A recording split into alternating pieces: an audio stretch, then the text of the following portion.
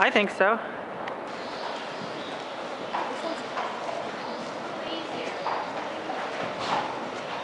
I was amazed at how little they learn. Like, you know.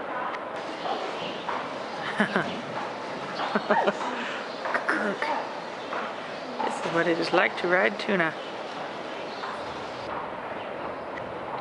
Like how Jamie's like, we're crossfiring, we're gonna keep going. Yeah, we're, we're not just gonna